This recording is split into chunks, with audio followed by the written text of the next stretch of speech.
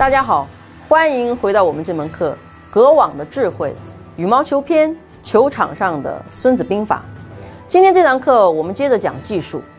今天我们讲的技术是羽毛球里一项最基本的技术，但是往往在基础甚至是到了提高阶段的很多同学都会觉得打这项技术很累，甚至会觉得很痛苦，并且不知道在场上该如何有变化的运用。因此，我们会通过两堂课的时间来讲一讲拉高远球，在双打中该如何拉高远球。拉高远球是羽毛球里一项最基本。也应该算是最重要的基本功技术。今天这堂课主要就是挑起我认为在大部分同学在拉高远球中最容易出错的技术问题来进行剖析讲解，以及会给同学们介绍几种增强脚下移动能力的专项步法练习方法。我们到场上来看看。首先来剖析讲解拉高远球最容易犯错的错误问题。第一个问题，脚下的到位步法移动以及不能协调的进行单脚交换起跳的问题。相对而言，最严重的就是单脚交换起跳动作不协调。这个问题也要从他的步法移动开始讲。很多同学在看到高远球来球后，他的第一反应不是并步移动到位击球，而是直接做出的往后蹬跳的动作去击打球。所以也就限制了他无法完成正确协调的交换起跳动作。解决这个问题的第一步是看见来球后的第一反应，侧身用并步进行移动。第二步是到位后重心放在右脚上，也就是你持拍手相对应的那只脚上。如果你是左手持拍，就是放在左脚上；右手持拍者就是由右脚蹬地。腾空转体，最后是左脚先落地，右脚再落地，来实现正确协调的交换起跳动作。注意，一定要把重心放在右脚上，把由右脚蹬地这一步解决好，否则是无法实现单脚的交换起跳动作的。第二个问题就是发力击打时用的是甩大臂的错误动作。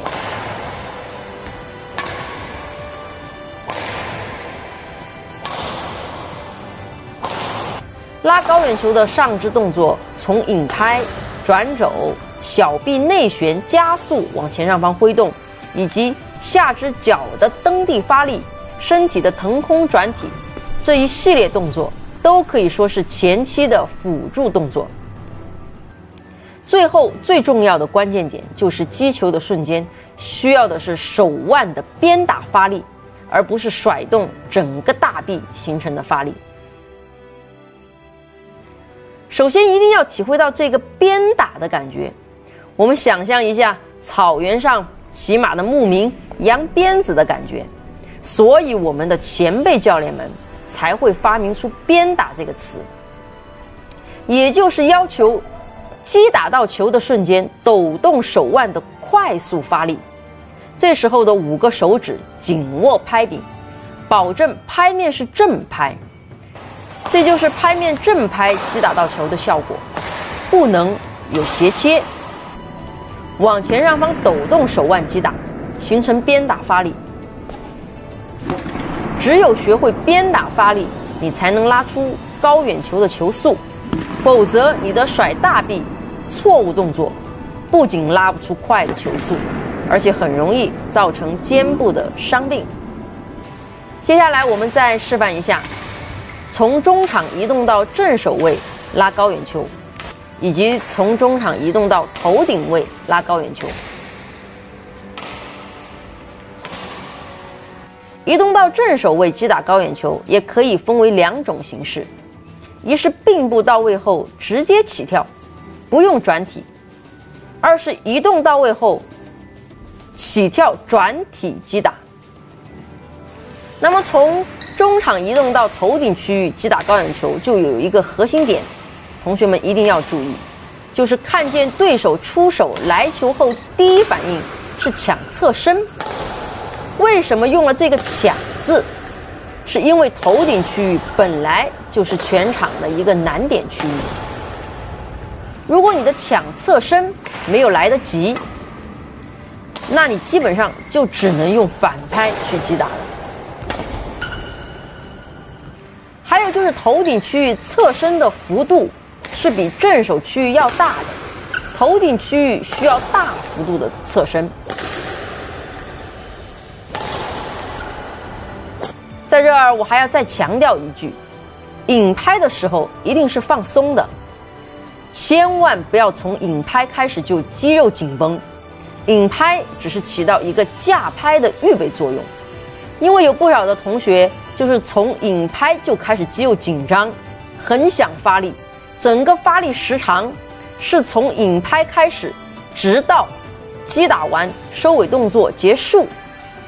所以，这也就是为什么很多同学感觉拉高远球是个特别累人的活儿，费了很大的劲，也不容易拉到位，并且稍有几个回合下来就感到体力不支了。记住，我们要做到的就是该放松时放松，发力该集中时集中，动作张弛有度。最后，再给同学们介绍几种有助于场上移动的专项步法练习方式。第一种。行进间的步法练习，第一个动作是前垫步。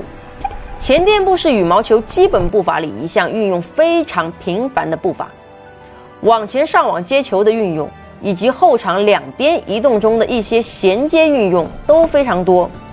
同学们要注意，大家起初在做这个垫步练习时，最容易犯的错误问题就是做成了向前蹬跳动作。所以要先找一找这个垫步的感觉。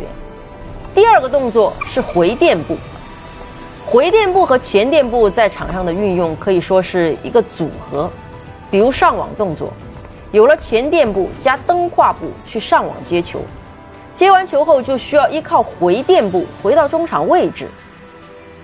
第三个动作并步，并步在场上击打后场球时也会频频使用。我们讲的侧身并步移动到后场位置，就是讲的这个并步。